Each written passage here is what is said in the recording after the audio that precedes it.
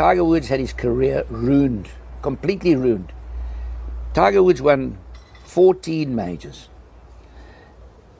And then he wins the 14th major was the US Open at Pebble Beach. He won by 15 shots. You know what that's like? It's like running the 100 meters in 7 seconds. The next week he's having a lesson from a man who I don't know if he played in the Masters could break 80. Couldn't. But he's having a lesson from this guy. Yeah. And then he goes to another guy who couldn't break probably 85 in the Masters with the pressure or the British Open or the PGA on the final day. And he's having lessons from them. Why did Tiger do that? He was so good, but I understand he wanted to get better.